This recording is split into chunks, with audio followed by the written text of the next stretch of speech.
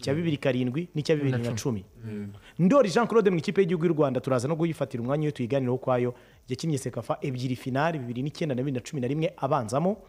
Anakina cana ebyiri bibiri na cumi na rimwe na bibiri na cumi na kane na bibiri na cumi na gatandatu yabereye i kigali. Ah, ni ndori jean claude ku cyitwa ibikombe yatwaye byose muri aperi Wa- wayigezemo bibiri gatanu bivamo bibiri na cumi na gatandatu niba ntibeshye. yego imyaka cumi n'umwe. Cumi n'umwe. Wa cumi na kabiri inizanyo muri muri ayisi kigali. Sobanura aperi mu magambo make. Aperi ukuntu yasobanura mu magambo makenya eh, aperi ni ikipe ni ikipe nziza ni ikipe yamfashije muri kariyeri yamfashije muri kariyeri yanjye. Eh, kubera yuko na bazi y'ubuzima mfite ubu ngubu ngenderaho niyo nayivanye muri aperi urumva. Rero ni ikipe ni ikipe igufata nk'aho uri umwana wayo mu gihe uyirimo uri umwenegihugu. Ni ikipe eh, igufasha mu bibazo ibyo ari byo byose ushobora kugira mu buzima. Ni ikipe ni ikipe yakugira umukinnyi ukomeye hano mu Ni- ni Rwanda. ni ikipe y'igisobanuro cy'ubuzima bwawe ahari. yakoze byose. Yakoze byose. Ha- hanyuma twavuze ko winjiye mu ikipe ya PFC harimo challenge yuko hari umuzamu wari usanzemo mukuru kandi unakurusha. Ndanda. Ariko nawe ubwo ndanda ageze nyine asezera ko ari umuzamu nyine yari ndanda garafashe yaratinze ahubwo ndori yageze aramwicaza. Wageze baramwicaza bitewe na forume nimba nibuka neza. Cyangwa mwarakinaga mwese. Oya twese twarakinaga. Eh, kubera ariko we mhm. nagezeyo ndanda arambwira ati rero urabona wa mwana wawe uracyari mutonya. Ikintu cya mbere ngiye kukubwira sinshaka kuzajya mu bintu by'uburozi. Kuko nuramuka ugiye mu bintu by'uburozi bizakwicira kariyeri Mm. ndamubwira mukuru wanjye ikintu mbwiye ndacyumva. Dutangira gutyo. Turatangirana akajya akina amamace Eh, yabona ikipe y'igihugu igiye ku igiye guhamagara nanjye akama nkakina kugira ngo mbone uburyo nzahamagarwa. Mu ikipe y'igihugu aha. So, kuko ndumva ndanda yavuye muri aperi bibiri na cumi ahari. Na cumi se aya? Mm. gace. bibiri n'umunani. Bibiri n'umunani bibiri n'icyenda niba n'umunani gutyo. Eh, impamvu? Yanjye kumaza kino kibazo ni uko urumva we yagumye mu ikipe ya APR ari umuzamu mukuru kandi unabanzamo. Yego. Ariko haza kuza samite challenge. Hahise hazwa n'undi muzamu mu ikipe ya APR bakame wari umaze gukora amateka. Bakame yaje ndanda amaze ku- amaze kuritaya amaze kuri tayaringa Eh. urumva yari umuzamu ukomeye hano nawe mu rwanda? Ari umuzamu ukomeye cyane. nawe tubwire kuri ako kantu. akiza rwose mu ikipe ya peri ukuntu mwabanye mu ikipe ya peri efuse ndetse n'uburyo nyine eh, kuko ucyumvikana cyo umuntu witwa ndanda babanye nta neza. fitina. Nta fitina rwose. ari nk'umuvandimwe. Yari umuvandimwe wanjye mukuru. Kuko n'umurage mfite ubu ngubu ndimo ndasigira barumuna banjye. Nawe ukomoje kuri ndanda. Bitewe n'amagambo yambwiye. Kandi nzi ko eh, urabizi ko abazamu iteka ryose umwe abaca ahangaha eh, baba bari kontre igihe cyose baba bari kontre baba bafitanye Imitima mibi. imitima mibi amabifu iki. Ariko ndanda arambwira ati wa mwana we icara hamwe. Urumva? Mm. ntabwo nzakuroga nta ntuzandoge urumva? Kandi ntiwihebe ujemo ahangaha ahangaha tuba dufatanya gukina. Kuko nanjye ndimo narangiza kariyeri nyina mace nkeya nawe ukina izindi. Mm, hari umukinnyi wigeze kumbwira ngo umuntu amara mace oya ndabicuritse. Mm. ngo mace zimara umukinnyi? Ariko umukinnyi ntamara nta mace mukinnyi wamara mace okay uri kumva ako kantu? Ntenda kumvisha ni ubutumwa rwose nahawe n'umugabo witwa jimmy gatete. Kuko mace ni nyinshi.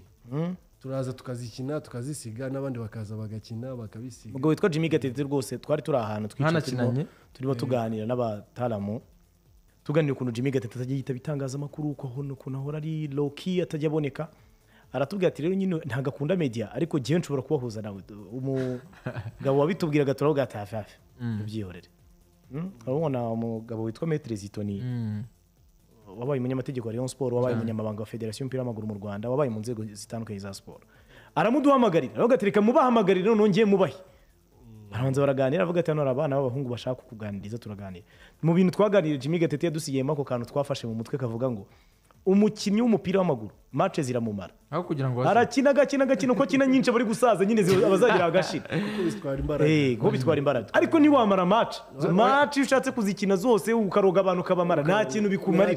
Birangira urangiye nabi. Birangira urangiye nabi. Eh, hanyuma ikintu nakubazaga rero. Bikarangira ugiye mu madeni. Izo- eh, iza rya bakame muri epiyara niyo wari ugezeho. Yego. Eh, kuza kwa bakame eh, byari byiza. Nari na- na- nari nabyishimiye ngewe nk'umuntu wari urimo hariya kandi wari umazemo igihe. Eh, kubera amamace amamace ni menshi. Muri apera amamace aba ari menshi kandi ntabwo bakunda kugira baba bafite abagaridiye babiri. Ahanini uwa gatatu ntabwo akunda kugaragara. Mm. abo babiri nibo bakora bashobora gukora sezo yose bagakina n'amashampiyonzi ligue bagakina n'iki. Bakeneye abakipa babiri byibura bari ku rwego rwiza kuko ndibuka na bakame amaze kugenda olivier kwizera yari amaze kuzamura urwego. Muri kumwe muri aperi ubwo twari tukiri kuri bakame. Bakame ndagenda nongikamo utundi tuntu gake gake. Mm. ngewe nabaga i remera bakorera imyitozo ku kibuga cya ferwafa kikiri gishya za bibiri karindwi. Hariya kuri arena rwose. Eh, Eh, hariya hariya hari arena Eh. bari bafite imodoka yari yanditseho ngo gorikipazi Eh, bagendana. Ewana mwarabanaga Eh, cyangwa n'imodoka gusa mwari imodoka muhuriye twaduhuriyeho. Njye nabaga igikunda wabaga mu rw'intare ariko umunsi ku munsi twabaga turi kumwe. Twakora ari inshuti yanjye. Yari inshuti yanjye magara. Eh, yari inshuti yanjye magara. Kandi bitewe n'ukuntu njye nawe maze kubibona urumva kubera n'ikibazo twari dufite cy'abazamu mu ikipe y'igihugu. Abanyamahanga birirwa badutesha umutwe eh, iki runaka eh, bana tugahangayika ugasanga dufite ikipe ariko ugasanga nta muzamu dufite.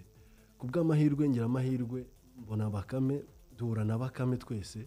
Tukiri batonya ndavuga reka dukore ikintu ku buryo umwe na- umwe azaza akina uwo munsi Undi agakinisha. undi agakinisha. Bitewe n'intuzi ariko ku buryo twese cyangwa se ku buryo twese abanyarwanda nta muzongera guhangayika ngo habuze umuzamu ariko ndori tu- turimo turaganira twavugaga tuti mu iyo interiviyu ya mbere umuntu asoje kariyeri yagera akabwiza abantu ukuri bakaba mwageze aho mugirana ibibazo. Eh, twageze aho tugirana ibibazo. Bishingiye ku ki? mwapfuye iki? Twashingiye ibibazo twagiranye. Ni ibyo ngibyo nyine bishingiye mu gukina. Urumva kwa gukunda gukina. Iki? Eh, kandi eh, iyo urebye njye bakuru banjye bari ba olivier bande nibo bakundaga kunshyira mu izamu ngo ni hano. karekezi. Eh, ba karekezi ba saida bedi ba katawuti Mm.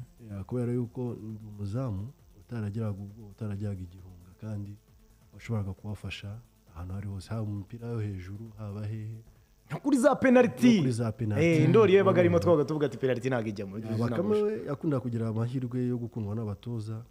Bakamwikundira ariko ngewe ahanini ngakunda gushyirwamo n'abakinnyi kubera ishyaka ubushake eh, urumva. Eh, bakame ni inshuti yanjye magara ku buryo ntawagiraga ikibazo ariko agatotsi agatotsi hagati yawe na bakame kaje ryari? Kaje mu buhe mwaka? Kaje kaje hagati ya bibiri n'icyenda na bibiri na cumi. Nibwo agatotsi katangiye kuza Eh, hagiye kuza amashampiyonzi ligue igihe twakinaga na za tupuisa Tepe Mazembe. na na ya sekafa yabereye mu rwanda sekafa yabacikwepo hari na match amikaye twakinnye muri south africa na cote d'ivoire bagiye kujya mu gikombe cy'isi. Badutsinda bibiri zeru Mm. aho ngaho ni bwo natangiye kuko benshi barabimbwiraga iki umuntu arakoroga agira iki. Ariko njye ntabwo nabyitagaho ubwo bakame yari yarageze ku rwego rwo gukina bihoraho. Wowe usa nk'uwaragiye ku ruhande gatoya. Eh, kubera ko urumva muri icyo gihe narwaye umugongo umwaka wose. Kandi uwo mugongo ukuntu waje umugongo waje tugiye gukina na cote d'ivoire. Iyo match y'inshuti eh, mvuye muri eshifoma numva akantu karanjomye ngira ngo ni agashinge cyangwa ngo ni akati kanjombye. Ariko sinabyitaho. Ariko mpita yagiye kurangira ntabasha no gutera baro ngo igere hariya ku muryango. Urumva ntabwo ari imvune ntabwo wavunitse ngo ubyiyumvemo nta duweri wakuyemo n'umuntu? nta duweri wahuye na yo. Nta nubwo kwikubise hasi ngo ubyiro kwa ko twikubise hasi ukababara urabyumva. Eh, ni akantu kakujombye mu mugongo? Ni akantu kanjombye kameze nk'agashinge cyangwa agati. Utekereza ko gashobora kuba kari kari nko muri jezi se? Oya. Cyangwa kazanywe oya hari igihe kubera ko urumva. Cyangwa ni uburozi nyine kuko uburozi nyine numva ni- uburozi kubusobanura burya biragorana. Gutuma umuntu ikintu Mm, bibaho, bibaho cyane bibaho cyane. Urumva? Umwaka wose nawumaze nta kintu nabasha no kwambara isogisi abantu bakakubwira ati bakame yarakuruzi ukanga kubyemera. Nanga kubyemera nkavuga ngo ya Inshuti yanjye magara. inshuti yanjye magara. Eh. ntabwo nabyemera. Ni ryari rero wageze ukavuga ati ibi bintu bishobora kuba ari byo Ya, mm, igihe byageze aho urumva ni igihe hari igihe nafashe mesaje bibiri na cumi na kabiri turi muri sekafa y'ibihugu. Kubera ko eh, iyo twajyaga muri se yo tanzania eh, telefone yanjye niyo yaromingaga gusa. Ariko yabakamo ni roaming rero twese tugakoresha telefone. Eh, ahantu noneho nabyemereye ko ni iki Eh, ni ahantu twari turi kumwe wumva baraduhaga ngo dutahe. Turagenda turasangira. Cyangwa nawe maze inama ndagenda mbikeka mbikeka. Baduhaga bushya dutashye ndamubeshya ndamubwira ati ngewe rero ntabwo ngiye mu rugo none ndaza kujya mu rugo ninze. Ahantu ngiye guca iki? Mm. mpita mbisanga mu rugo iwanjye. Byahageze Hmm? Nta- nta- ntabwo mbyumvise. neza. Wa- wasanze iwawe mu rugo bamenye ko hari ahantu ugiye guca Eh, hari ahantu naciye eh, nari butahe iri icyumba na- naramubeshye kugira ngo ndebe yuko koko Eh, waramubeshye uyu munsi sintaha uramubwira uti rero ngewe ni nko kwa kundi umujama ashobora kubwira umugeni- umujama. wawe uti ngewe madamu uyu munsi yashyira agapira hasi uyu munsi sindi bugere mu rugo. Taranigiriye. Eh, noneho wowe uramutungura uhita utaha naha nahise rero eh, mu gitondo abyi- abyuka amuhamagara amubwira ati yana umugabo we ntabwo yatashye yarayahanga runaka runaka. Umudamu nawe ndamubwira we n'umwihore ntagire ikintu umusubiza arikiriza. Tugeze tanzania rero eh, hari imbere ya sekafa hari imbere ya sekafu twari turi muri preparation. Mm. dusoje nyine baduhaga bushya ngo dutahe. Mutahe musezere imiryango mupakire imiryango, mutahe mu mujye muri kanga. ya mu gitondo turagaruka tujya tanzania tugeze tanzania eh, ni bwo telefone yanjye njye njye yarakoraga. Urumva ukuntu ihita ihuza yihuza yihuza ya. Eh, iyo ugeze mu kindi gihugu. Igeze mu kindi gihugu. Ariko nimero ya kamyo ntabwo yakoraga. Rero twakoreshaga telefone imwe nk'umuntu turana mu cyumba kimwe. Mm. eh, ariko mu mutima ufitemo ako kantu yasize agukoreye mu rwanda. N'ibyo wakekaga mbere bindi? Nibyo wakekaga ni byo mbere nakekaga mbere. Ubwo wari ugeze mu bihahari byo gutangira kuvuga ati reka mbe ncungacunga ndeba ibintu byose. ubushakashatsi bwawe noneho. ubushakashatsi nkora research yanjye. Mm. Eh, ngiye kubona eh, mbona mesaje y'umugore we wumva yamaze kuvugana n'umugore we. Eh, ndamubwira nanjye niza kuri telefone mvugane na madamu. Ngiye kubona mbona mesaje ivuga ati "Ebana, iyi mesaje ndori nayibona uhita uyisiba ngiye maze kubwira umugore we ko ndori atarayiwe n'ibiki n'ibiki urumva umugore we. Ari inshuti na madamu. Eh, inshuti- Eh, inshuti. bakame abwira umugore we bwite. Eh. ati iyi mesaje nguhaye ntutume umugore wa bakame ayimenya Ah, ah. nako umugore wa ndora ayimenya Ayime- aya, oya mbega umugore wa bakame ni we wohereje bakame mesaje amubwira rero iyi mesaje uhita uyisiba ndori umugore wa ndori maze kumubwira ko ndori ejo bundi ngo ataraye mu rugo urumva Eh, numara kuyisoma uhita uyisiba eh, ati maze kurwatsa kubera ko twari tugiye muri sekafa. Kandi njye wari titi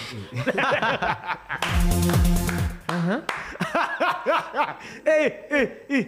iyo umuntu arangije kariyeri ni uku- ni bigenda abandi- baganira ukuri. abandi bandika n'ibitabo Eh. Eh. nuko nta bushobozi mbi nakuzandika n'igitabo oya bizagira aho bibe ntawamenya. Oya ntawamenya ntawamenya ahazaza ni harehare Mhm. urumva. Mm.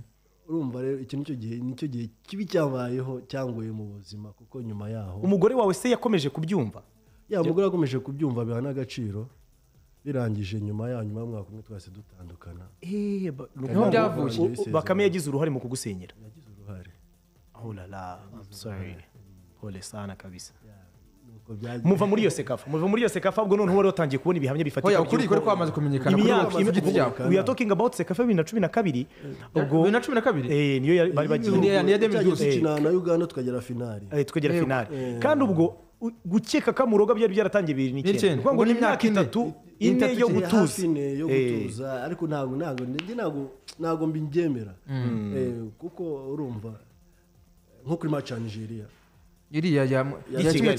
kimwe? Ya zeru zeru ya zeru zeru Ya. bataye tayo Hey, wabonye ko navunitse. Naravunitse. Ariko ko yari muri meforme urumva kandi ashaka gukina. Byabaye ngombwa yuko mvunika. mvunitse rero eh, mbuye twite bande barambwira ati ni aba besi barambwira nta mukuvuyemo hano. Turatsindwa. Dupfuye tugiye gutsindwa. Ya, nabwiye muganga musa we zirika kano kaguru kamere nk'igiti. Ariko nsubiremo? Ariko nsubiremo kugira ngo natererane bagenzi banjye. Bitewe n'ukuntu hari speech umuntu akubwira. Mm. urumva bamuma berisi na mbuyi twite ni abakinnyi batari abanyarwanda b'amaraso. Ariko bakunze u rwanda tubabarire ntusohoke. Ntusohoke. Kuko uramuka uvuyemo biba bari ibibazo. Dr. Musa nawe arabireba abura icyo akora. Ati dukora iki? Wari wavunitse iki? Nanavunitse mu ivi. Eh, kandi mu ivi ni habi. Ni ngo ni ahantu ugenda ukoresha nyine. Urumva no muri tize na yo ndirwaye nandi maranye igihe ariko muri mace uza kari agatipe bita musa kakinaga muri nigeria kankubise ishuti. Eh, akaguru Ahmed Musa. Mm, Ahmed Ahmed Musa, amaze iminsi ya agahita gahindukira gahindukira. No gukandagira sinabashaka no gukandagira Mm. Ya, nubwo nabwiye musa rero akaguru kazirike kamere nk'igiti. Nkakinisha imeze nk'ufite akaguru kamwe. nk'ufite akaguru kamwe. Kubera ko ngewe mu buzima bwanjye menyereye kubaho gukinisha- gukinira ku bubabare ndabimenyereye. Mm. Eh, kubera ko bitewe ni- eh, n'ubushobozi ikipe iba gushakamo n'iki? Nakemera nkakina nta n'akaboko mfite cyangwa se nta n'akaguru cyangwa Okay. se Ah, ndibuka nyuma y'iyo mace vincent enyeyama yaguhaye jezi cyangwa yaje kugushimira ikintu nk'icyo? Yanshimiye yamaye jezi amanaga. Agushimira uburyo witwaye nubwo wakinishije akaguru kamwe Eh. Okay. hanyuma turabyihutisha iminota iri kugenda. Ndori karame. Bakame yageze aha aravunika. Yego. Bibiri na cumi na kabiri ishyira bibiri na cumi na gatatu. Nawe yaje kujya aravunika amara hafi umwaka adakina binamuviramo kwirukanwa muri aperi waramwishyuye? Nawe warageze aho uramuroga oya. Mm. byagenze bite? Ni imvune isanzwe? Ni imvune isanzwe. Eh, urumva hari mu byondo. Urumva kandi yari afite ahantu bakubise hasa nk'ahabyimbye ku kuboko? Eh, ku kaguru. Okay Eh, hasa nk'ahabyimbye rero yari ameze nk'ahaboze kubera amaraso yari ayifunze yari ipfunditse. Yagiye kudegasha umupira ka kaguru kagumye hasi kabura ekiribure nyine. Ah, Eh, ntabwo gasa nk'aho gat- gaturitseho gatonya. Ntabwo katandukanye cyane. Urumva? Eh, gasa nk'aho gatandukanyeho gatonya. Mm. Ariko iyo ngo ari warning ibyo sinabivuga. Mu muryango we. Eh. Eh, yari Eh. Eh, bari baramubwiye? Eh, bari tutaramubwira. Reka tubiveho hanyuma wakomeje gusunika urakina wazengurutse amakipe atandukanye iyo tutari butindeho watwaye ibikombe byinshi. Baduhaye mesaje batubwira ko mu bihumbi bibiri na gatanu na bibiri na karindwi nabwo muri sekafa yari ari muri ikipe y'igihugu. Amafinari dukinnye ane. Nyuma y'iyo twatwaye bibiri na- muri mirongo icyenda n'icyenda finari enye zose ndori yabaga ari mu ikipe y'igihugu. Eh. urumva uburyo ari umulegend w'ikipe y'igihugu y'u rwanda. hari ukuntu ujya kudampinga ujya kuri ekipe nasiyonari hari akantu tatubwiye nyine ibyo bintu byakugumye mu mutima ntabwo muyizi biganira na bakame cyangwa se ngo Ngo bimubwire. mwicare mu bicoce, mu bi- bicoce. Oya ntabwo nabimubwiye. Eh, nabimubwiye nyuma. Mwana amaze gutandukana? Eh, twamaze gutandukana nka bibiri na kane gutyo bibiri na gatatu bibiri na cumi na kane. uricara uramubwira uti warambabaje. Akubwira ngo iki akubwira ngo iki we? Ntabwo yabyemera. Uvuga ati, "Reba ubikora buriya ntabwo apfa kubyemera. Abenshi ntabwo bapfa kubyemera. Ababikora benshi ntabwo bapfa kubyemera. Ntabwo yemera ko abikora iteka bahakana iki. Reka tuvire kuri aperi rimwe. Ndori mu myaka cumi n'umwe wakiniye aperi efuse ninde mukinnyi ukomeye kurusha abandi wabonye? Uvuga uti nishimira mu buzima bwanjye kuba nakiranye n'uyu mukino. Tubwiye wenda nka batatu. Nka batatu? Eh, nishimira mbuyi twite Eh, mbuyi twite yari umukinnyi mwiza. Eh, na kabangi mangaye Mm.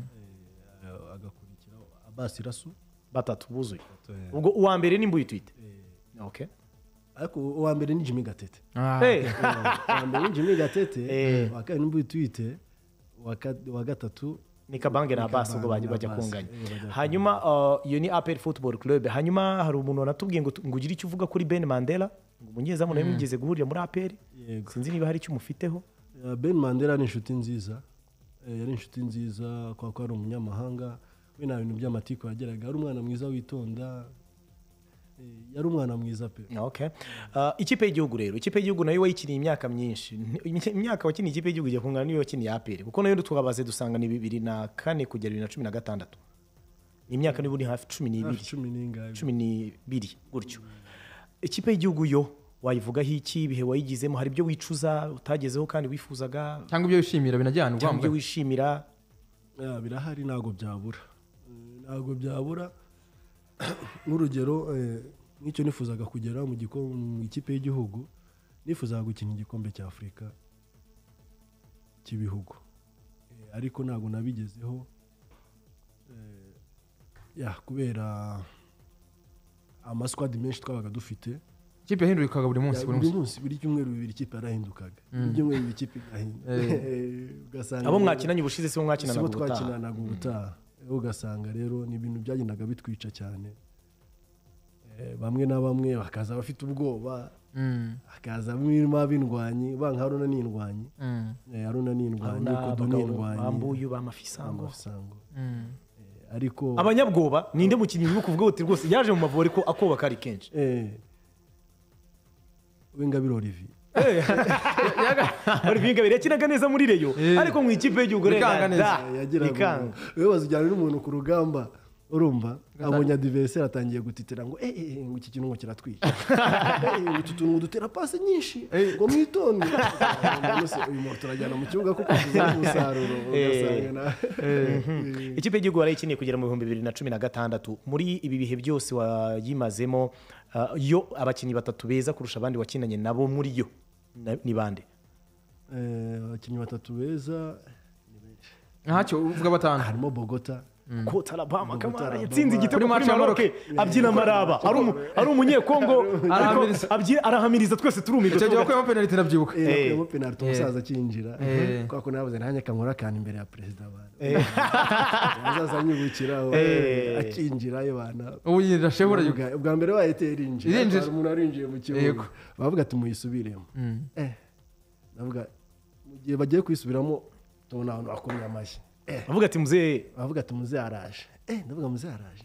Tereka mbereke nawe Reka ndavuga aranuzuza imyuka. Barayitera. Uhita uyarura. nyikuramo bakina nanone ubwa kabiri nyikuramo urumva ikipe turanya twitsinze ibitego bitatu kandi abari bari baratunaniye kubatsinda. Mm. batatu rero. Bokota ni we wa mbere. Yego. Bokota ni we wa mbere agakurikiraho karekezi olivier. Benjamin agakurikiraho katawuti Mm. inambuye utwite w'inyoni Mbuye twita ubwo Jimmy Gatete ari aho hafi Jimmy- Gatete ni umwami we abantu bose baba bagenda Eh. yaraduhagurukije kuri za match zose zibukwa yatumye nywa pirimusi nkiri umwana. Hari mu wuhe mwaka bibiri na gatatu cyajya batsinda abaganda Eh, wese usoma kuri primus wiga segonderi ahantu harimo ndayireba kuko twayirebaga mu kabari icyo gihe twari tutaratunga televiziyo. Yaje umusaza atavuga ati umuntu wese uri mahanga bamuha icyo kunywa. Bahita bakacya primus. Nta nta cya pirimusi turi no mu isaha ya primus. Turi mu isaha ya primus. Eh. iyi ni isaha duterwamo inkunga na primus mu kiganiro cyacu. Urumva ko umutaramu ndori jean claude arimo aravuga ibi byinshi byaranze ubuzima bwe. Arimo araduha uh, mashup uburyo ubuzima bwe bwagenze muri rusange. Primus urumva ko ya- iri mu byinjiye mu buzima bwe? Cyane kimwibutsa. atazibagirwa ni inzoga y'ibirori. Eh. wowe niba ari ikintu cyiza kikubayeho soma ka pirimusi Eh. hanyuma igufashe kwenjoyinga ibyo bihe. Kwenjoyinga ibyo bihe rwose. Hanyuma eh, ndibuka ko wahise utangiye kujya mu makipe agiye atandukanye matoya ubwo ndavuga maramo umwaka umwe mpita njya muri kiyovu maramo imyaka ibiri.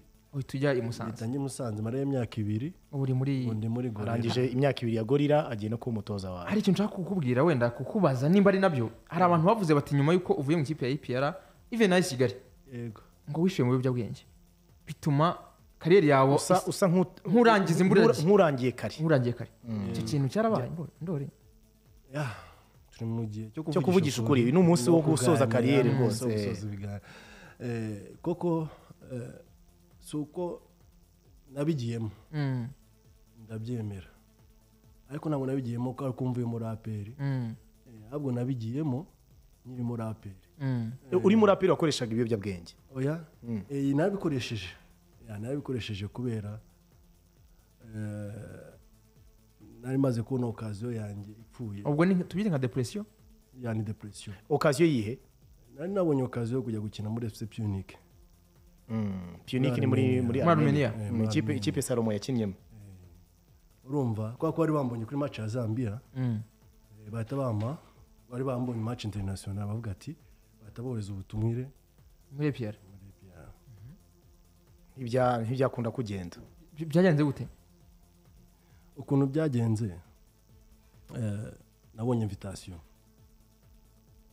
Eh, ba- barampamagara bambwira ati hari hari aba- abagenti bamwe bamwe ntabwo bakwifuje. Mm. ariko bambwira ko njya kwandika CV nandike CV nyizane ku wa gatanu. Kandi invitation igomba kurangira ku wa kane. Mm. ari ku wa gatatu nsohotse hari umuntu wanyetse dore invitation yawe ngiyi. Kandi na na treyazi na na treyazi usabwa. Ntabwo usabwa kujya gukora ntabwo igerageza usabwa kugerageza barakubonye bashaka ko ugenda uhita ukina direct. Wategereje ko bica muraheba? nategereje ko urumva na- nari gutanga nari gutanga sivi ku wa gatanu invitasiyo yarangiye ku wa kane. Oh, mm. umuntu wanyeretse iyo invitasiyo nta kindi nakoze ngewe nasomye imeri nahise niba imeri mu munota umwe cyangwa mu masegonda angahe? Mpita niba imeri mpita nyina ndamwandikira amwandikiye arambwira ati ntabwo byakunda utoherejwe n'ikipe yawe kuko Iki- ikipe yo niyo igomba kutwandikira Niyo tuvugana ntabwo wowe ufite amasezerano ntabwo byashoboka ko twivuganira direct. kuko Ah. turashaka ko tuvugana n'ikipe yawe. Mm. ikipe yawe niba ikurekura turakwakira. Ariko niba itakurekuye ntabwo wapfa kuza gutyo uri free agent. Ako gahinda wagize icyo Ako gihe nagize icyo gihe. ni bwo wicaye uravuga uti washaka ikintu unywa ki- Ki- kinyibagiza." Eh, mpita numva yuko nyine kariyeri yanjye hano mu rwanda ari igomba kurangira. Kandi wumva ufite intego zo kujya hanze. numva gufite intego zo kujya hanze. Mm. nicyo kintu hari mu wuhe mwaka? Bibiri n'icyenda. Bibiri n'icyenda. Nibwo wasomye bwa mbere ku kiyobyabwenge? Kihe? Urumogi. Urumogi. Eh, Ah, narusomyeho eh, hanyuma biza kugera aho ngaho ndabireka maze kubona yuko nyine nta kintu bya ubwo wabiretse muri mwaka? Muri bibiri na cumi na gatatu. Gatatu. nyuma yaho ntabwo wongeye kubisubiraho? Ntabwo nongeye kubisubiraho kwa yuko ubona se njyana de- na deception Y'urugo? Na deception y'urugo Mm. nari gusa hari ikibazo mfite cyane kuri ndori kubera ko iminota yacu yagiye Ah, nagira ngo jene wakunze kubivuga cyane kwizera olivier ni umuzamu murumuna wawe unavuga ko ubona mu bahari ubu ngubu ari ubona afite impano ukunda kumugira inama nagira ngo iyo nama ukunda kumugira n'ubu uyimugira ariko bigendanye na generasiyo nshyashya y'abana bakinnyi bakiri ihari hari abahungu bitwa ba jean pierre bari muri aperi bafite impano hari abahungu bitwa ba dolphe bari muri leon sport bafite impano ba fiacre muri even Kigali n'abakinnyi b'imbere abo baraga nyine hari agahungu afite muri muri gorilla k'inzobe kayive. Kawuzi hari bacuzuzo emegael wa gasogi. Aba bahungu babona gute? Ni iyihe nama wabagira? Dusoza. Aba bahungu ukuntu mbabona rero abahungu dufite ni zahabu dufite. Mm. Eh, ni zahabu dufite tugomba gusigasigira bafite bafite impano yo ku rwego nk'urwo mwari muriho mwebwe na ba bakame Eh, nka dolphe arayifite pierre arayifite olivier kwizera. Ntabwo navuga ni ateye ubwoba. Mm. Mbega arihariye Mm. Eh, ni exceptionnel imana afite ni exceptionnel kandi aho ngaho bayivamo baragenda baza baracyari batonya. Eh, nibo tugiye kujya gukoramo abakinnyi kugira ngo turebe ko mu myaka iri imbere bazaza basimbura ba olivier kubera yuko ni ugutegura biradusaba dutegure nyuma y'imyaka itanu ingahe Mm. eh, tugomba kubafata kugira ngo tugomba kubakoresha cyane kugira ngo bazaze basimbura abandi. Mm, rero icyo nababwira inama nabagira eh, koko eh, ntimuzuve ku byabaye kuri mukuru wanyu namwe mubikurikize. Mm. ntabwo ari byiza. Kandi ndabasabye ntimuzishore mu mu biyobyabwenge. Kuko ibiyobyabwenge ntabwo bikemura ibibazo ahubwo biteza ibindi bibazo. Mm. Eh, niba ugize ikibazo ujye wihangana wegere abantu. Mufatanye kuganira. Mufatanye kuganira. Aho hantu ibintu ibintu tubisanga mu bantu. Aha ngaha ntuzavana ibisubizo aho ntuzavana ntuzavana ibindi bintu byose uzifuza kanye wanyemereye nkabaza akanyuma ntacyo mubaze mu munota nk'umwe? Akanyuma, gasubize mu munota umwe nabwo cyangwa se amasegonda. Mu bihumbi bibiri na gatanu ndanda yakugiriye inama yo kutazigera ukoresha uburozi. Yego. Niko byarangiye cyangwa nyuma yaho waje kubukoresha? Oya niko byarangiye. Kugera ubu. Kugera ubu ngubu. Mm, ntabwo nigeze mbikoresha oya ndori ndori wakwemereye ko yanyoye urumogi ntabwo yakubeshya ko yatakoresheje ubu burozi. ahubwo eh, mu makipe twagiye tubisangamo tu- Ah. tugenda wa tubisangamo mucanga umucango iki? Babyita umucango Eh. oya umucango umucango umucango Ni guhuza- ni ni uguhuza. ibiceri ukajya gushaka inuza icyo byari ko waraparitisipaga bisanzwe bya Bya generali kugira ngo Kugira ngo udateza ikibazo. ngo wagambanye. ariko nta kintu wambariyeho nta kubyambara narabyambaye pe bya ekipe ariko Eh, narabyambaye urumva ikipe yari gutega batega umuzamu tumutavugisha ukuri ahanini abazamu nabo bikoreye umutwaro w'ikipe ahanini. Mm. nko kurinda ibizamu kurinda izamu kugira ngo mudatsindwa n'iki n'iki eh, ahanini. Eh, rero naratekereje naricaye ndanabaza mbaza mukuru wanjye arambwira ati nta kibazo by'ikipe ujye ubyambara ariko wowe ntuzajye gushaka umupfumu? cyangwa ngo uroge mugenzi wawe. Cyangwa ngo uroge mugenzi wawe umugirire nabi kubera gukina umupira. Kuko umupira umunsi wawe ugiye uri meforme bisaba kukwihangana Mm. igihe cyawe nta kikagera ugasubira muri za forme. Cyangwa se ukicara ukitekerezaho. Reka tugushimire ndori wakoze kuza rwose. Murakoze kanezio murakoze. Ngabo robeni ngabo robeni Eh, nanjye ndabashimiye cyane. Dorisha wakoze rwose kandi all the best muri kariyeri itangiye yo gutoza. Turashaka kukubona uri umutoza w'ikipe y'igihugu turashaka kukubona utoza aya makipe aremereye apr leon sport polisi aya makipe atanga amafaranga menshi. Turashaka kukubona witwara neza muri gorilla. Disipurine ufite uyu munsi uyihe barumuna bawe. Ugira umunsi mwiza. Thank you so much. Murakoze namwe mugira umunsi mwiza. Dushimiye abantu bose twabanye na ubutumwa twabonye ni bwinshi ba cezari ba karasita muhire twabonye ubutumwa bwa- bwanyu ni bwinshi no kuri youtube. Mwakoze rero reka tubashimire tugenda tubugarukaho ubwo mukomeze mugerwe n'ibiganiro radio wane bateguriye ndi kubona pakisoni yahageze muryoherwe.